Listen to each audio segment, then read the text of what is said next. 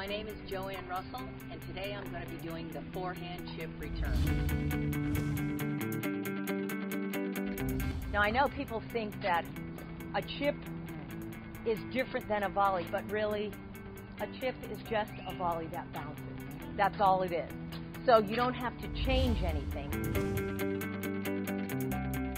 Basic idea is the chip is used to keep the ball low and get you moving towards the net. Sometimes when you hit flat or topspin, you're like this, and then you have to move. With a chip, they serve it, you're ready, and you go. Return serve, you set your hand in front of your body, slightly above the ball, not way above the ball, but slightly behind it. You flow into the ball. You don't stop and chip it.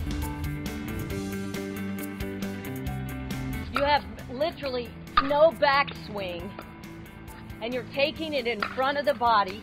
That's right. And then you move forward to the net.